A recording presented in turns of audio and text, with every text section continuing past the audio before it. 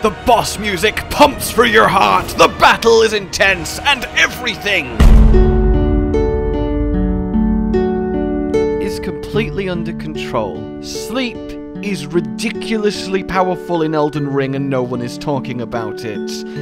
Hello, my fellow Tarnish. Today I bring you my investigations, my testing, and my discoveries when it comes to the notion of, hey, sleep's a really cool new status, and I want to make a build revolving around it because I feel like it's got a lot of potential. And yeah, it's got a lot of potential. I mean, as you're seeing, Enemies that don't like sleep become absolute trivial jokes because you can just chain sleep them with one attack and then repeatedly critical hit them and yeah, game is hard. Now, you might also be thinking, ah, but what about enemies that are a bit more resistant to sleep? Well, we'll get to them too, and they really do prove no obstacle. Actually, this also completely destroys people in PvP as well. So first, what is sleep?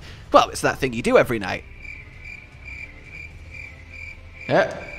Yeah, yeah, okay. It's a new status in Elden Ring, which, like all statuses, builds up as it gets applied to you, and when the bar is full, well, you fall asleep. There are three levels to sleep. There is level one, completely and utterly knocked out, you're unconscious for ages, and you're just waiting to be critical hit. There is level 2 where you don't go completely unconscious, you instead have a kind of oh, oh stagger, which essentially translates as a 2 second stun, during which you can just get beat on. And then finally, the third level is completely immune. This only applies to a very select group of enemies that would thematically, yeah, be immune to sleep, but it really doesn't affect this build at all because it still does ridiculous amounts of damage even without sleep being a factor.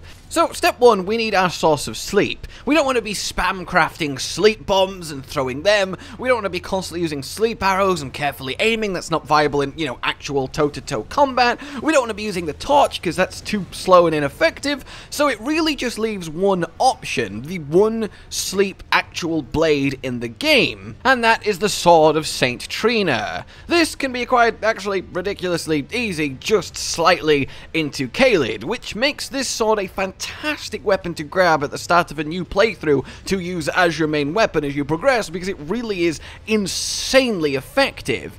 In any case, from one of the earliest graces in Caelid, you just hop down into the ruins, run through them, find a statue, fit it a key, go down the steps, and uh, grab yourself, well, a brand new weapon. And the build-up on this is ridiculously quick.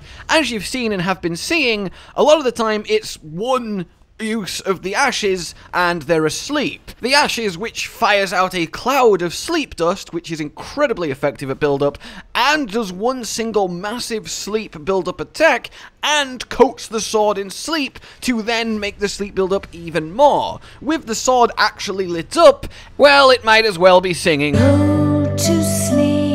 To get some like hard tests on this, against a player it takes 5 hits to put them to sleep without the power-up, it takes 3 hits with the power-up, and it takes 1 hit of the ashes. And then on a player, they're stunned for 2 seconds, and they can't do anything. Oh, and you can just chain the ashes for as long as you have stamina and mana, and yeah, it's, uh, it's a little bit, it's a little bit tiny, tiny bit effective. There is a tiny window you can roll out of this and break the chain, but it's very difficult to nail, especially if you start free aiming and you keep catching them with the cloud, and it's just obnoxious. But obviously, PvP is one thing, and we will get back to that, but we care about PvE here. The chief thing that Sleep does then on most enemies is make them open to a critical attack. And not just any critical attack, it does more damage than other critical attacks, which makes sense because they're in their sleep, so it's a proper coup de grace. Yep, sure, basic, soldier start of the game, but 4,000 damage is a lot of fun! Even on the super latest stuff in Farum, you're still up there with 3,000. It just feels good to walk up to each enemy, go nighty-night, and then one-shot them uh, when they're none the wiser. Obviously then, you want as part of this build to have a maximum crit attack damage setup, and that's easily achieved because you simply need one weapon and one talisman. And the weapon is the Misericorde. And yes, it does feel right to say it in that way. Found uh, behind a stone imp statue in uh, the Stormveil Castle. So again, gettable very early. The reason you want this is because it's got a crit rating of 140. This is the highest crit rating on any weapon in the game, and it makes for some meaty crits. The crit rating basically is the multiplier of damage when you're on it. So most weapons sit at 100, but this takes it up to 1.4, which is incredibly effective. Obviously, a lot of other things affect crit damage, the weapon's actual damage, your stat scaling, and yes, talisman. So obviously we want the talisman that increases crit damage. This is found in Volcano Manor. You have to progress through it. Once you beat the uh, Godskin boss that you will find there, you go from that grace, go on a fair amount of a long run, and eventually, eventually, eventually, past, yes, another Stone Sword Key statue and fog wall, you can get to it after a little bit of parkour, hanging from a corpse on a ledge. It is quite the convoluted one, but definitely worth it as this is a massive boost to critical attacks, which is key here. I've also added in both the Cerulean and the red Assassin's Dagger, which means every critical attack, you get back massive amounts of health and FP. And as you're constantly critting every enemy you come across nearly from the sleep, this is an endless supply of health and mana, which helps you massively save on your flasks. And mid-boss fight, because yes, a lot of bosses are affected by sleep, either full sleep or the 2 second stun that lets you keep beating on them. And yes, you can start building the next sleep as soon as they start falling asleep from the first sleep, which means in a lot of cases you can have the next sleep built up while they're still waking up from the first mini sleep stun, and you just keep chaining it forever, and it's just hilarious. But one of the best examples is what you're seeing, the Godskin Duo. They are very sleepable, and one of them could just stay asleep for a couple of minutes, it feels like, while you fight the other one. It also, again, constantly opens up to massive damage crit attacks from what I'm doing with the dagger. The Ashes of War I've got on the dagger, by the way, Royal Knight's Determination, is a near 80% damage boost, and yes, that applies to the critical attack. If you want to know how to get that and how ridiculous it is, I have made an entire video dedicated to it, and I will link that down below. As yes, that 80% damage boost applies to everything, including spells,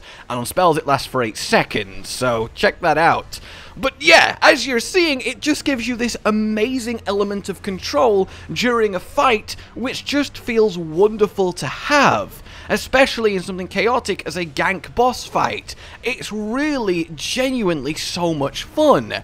And obviously, I am dual wielding them here in a lot of cases, and obviously, you only get one of them per game. So, if you do go to New Game Plus and grab a second one, or like I did, get a friend to drop you theirs if they don't need them, then this turns up to 11 as you can start power stancing, hitting with both weapons at once, which really builds up the sleep. There is very few enemies that I have found that don't get slept by just two L1 attacks. And that is ridiculous. It really, really is. Sleep is so good. I cannot stress that enough. And then in PvP, it becomes an incredible trading weapon because you just need to get two attacks off before they get stunned and then you get two free more attacks. And given the amount of damage they do, that's enough to kill most players, even at high levels of vigor. Because they're just normal straight swords, they are incredibly speedy compared to damn near everything you will see get used in a PvP meta build setting, which makes these a really nice little surprise mix-up to bust out in your invading. It really, really is a lot of fun. Though make no mistake, it does work just fine with just the one saw. That's why I only used uh, the normal single attack moveset during the boss, just to really prove the point. In fact, really the only negative of this build, apart from the tiny minority of sleep immune enemies, is that weirdly, when you buff the weapon, and you can buff both if you are dual wielding, if, as long as you do left hand then right hand, but weirdly, with them lit up, if you take damage, it gets rid of the weapon buff which doesn't happen with other weapon buffs, so I am left wondering if this is a bug, and if it gets fixed, this will be even more ridiculous, like seriously, or if it's just a self-balancing mechanism for sleep particularly, that it is just programmed to go off when you take damage, but either way, it kind of sucks, and this does feel bad, and it's kind of annoying. Granted, the natural build-up on the weapon is so good, you don't need to be buffed up, but it would be nice to be able to take a hit and keep your buff, like, I don't know why they're randomly discriminated against here, But in any case, yeah, that is essentially it. Get the sleep weapon, get a high critical damage setup to go along with it, and find yourself just destroying both every random enemy you come across, people in PvP, and bosses too, as they like to get a good night's sleep as well. Obviously, both the dagger and the sword scale off dex, so this naturally finds itself suited to a high dex build, but I like to throw this weapon on at my int sorcerer build because he can still use it because the requirements are quite low, just as a mix-up to pull out and then bust out some sleep, which is a really nice surprise tool in your arsenal. Also helps a lot in normal, you know, single player when you're having a particularly difficult enemy and you really just want to critical hit it to death. I hope you have found this useful. I hope you have found it, well, sparking the old imagination. I hope you find yourself now riding out to grab this weapon and start playing with Sleep too, because it really is.